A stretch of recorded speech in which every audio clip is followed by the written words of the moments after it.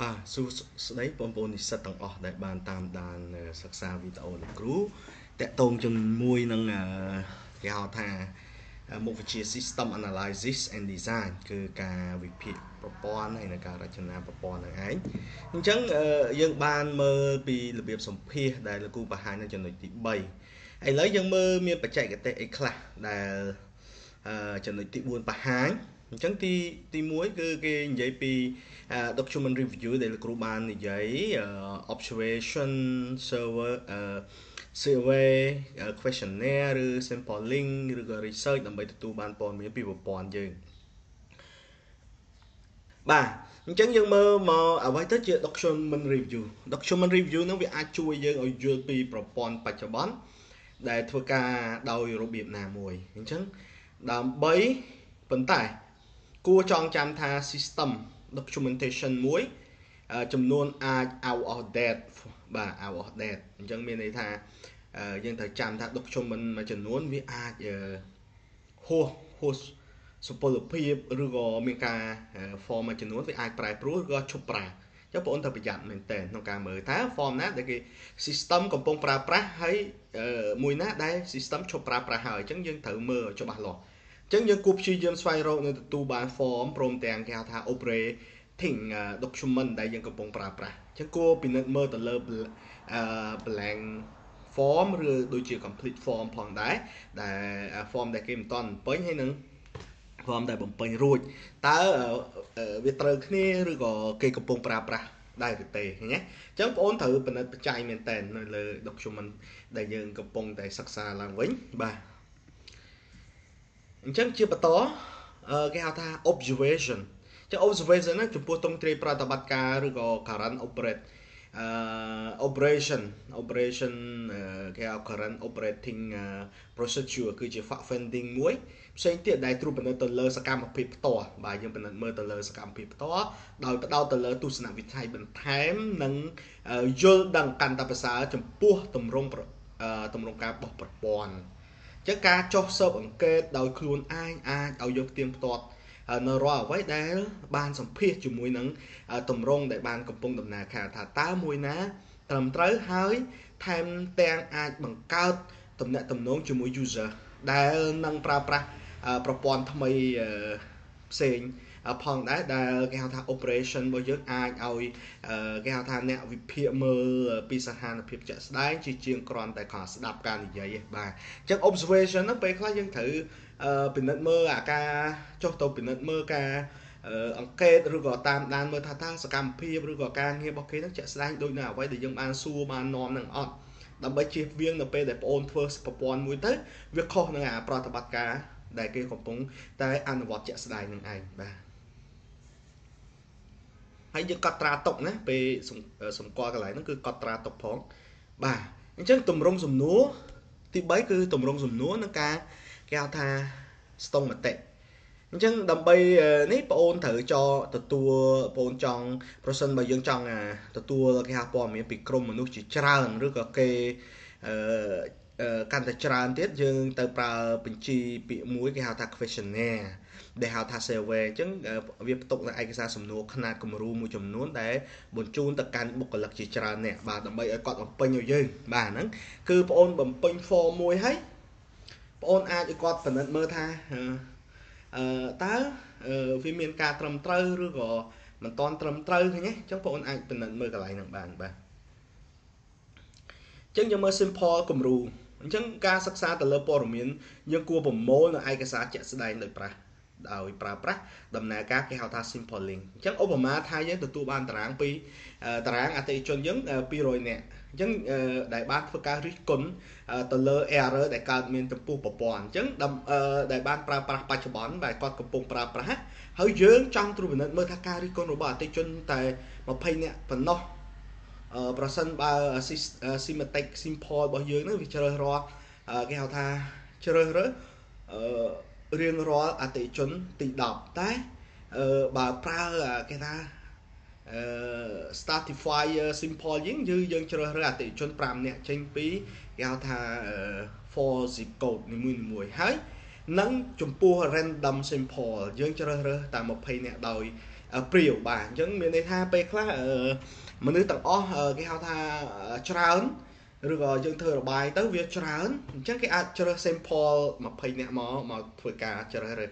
បាទយកតន័យ10%មក20នាក់បាទអញ្ចឹងគេទៅជ្រើសរើសវាមានលក្ខណៈដែលយើងគេហៅថាជ្រើសរើសអឺគេហៅថា system sample យើងជ្រើសរៀងរាល់លេខរៀងឬក៏គេប្រើគេហៅថាអឺ startifier simple គឺយើងជ្រើសរើសរៀងរាល់អតិជនទី5ចេញមកបាទពី coding ហើយ random random គឺយើងរាវយកមកបាទអាហ្នឹងគឺយើងអាចនឹងធ្វើគេថា simple sampling នឹងបានណាបាទនេះគឺវិធីសាស្ត្រដែលគេហៅថា sampling បាទមានពេលទៀតលោកគ្រូនឹងបង្ហាញពីវិធីសាស្ត្រនីមួយៗពីការបំពេញការធ្វើឧទាហរណ៍ការជ្រើសរើសនឹងឲ្យពិនិត្យមើលបន្ថែមបាទ អញ្ចឹងយើងមើលមួយទៀតគឺការស្រាវជ្រាវគេហៅធ្វើ research អញ្ចឹងនៅពេលដែលសិក្សាទៅលើប្រព័ន្ធយើងគួរតែប្រមូលឯកសារជាក់លាក់ដោយប្រើប្រាស់ដំណើរការមួយគេហៅនឹង simple មួយហើយបងអូនអាចធ្វើ research រាល់ការបញ្ចូលព័ត៌មានមើលថាតើ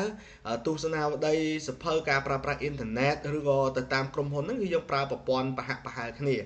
ហើយដើម្បីសិក្សាក្នុងគោលបំណងទទួលបានព័ត៌មានជាមូលដ្ឋានសម្រាប់កសាងប្រព័ន្ធមួយអញ្ចឹងថា អ៊ីនធឺណិតគឺជាឧបករណ៍សម្រាប់ស្រាវជ្រាវដ៏មានតម្លៃពីព្រោះថារាល់ព័ត៌មានភាគច្រើនសុទ្ធតែផ្ទុកនៅលើវាទាំងអស់អញ្ចឹងគួរតួយ៉ាងដូចជាព័ត៌មានតាក់ទងជាមួយ hardware software ជាដើមឃើញទេអញ្ចឹងបងអូនអាចធ្វើការសិក្សាស្រាវជ្រាវបន្ថែមទៀតទៅលើប្រព័ន្ធរបស់យើងតើយើងប្រើប្រាស់អ្វីដែលបាន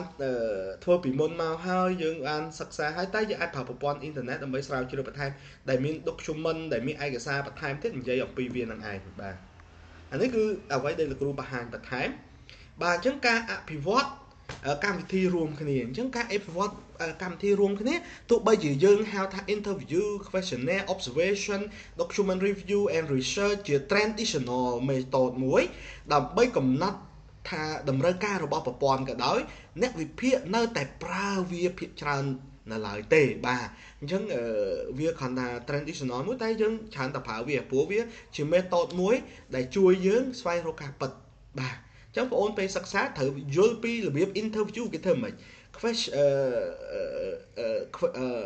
questionnaire គេធ្វើម៉េច observation គេធ្វើម៉េច document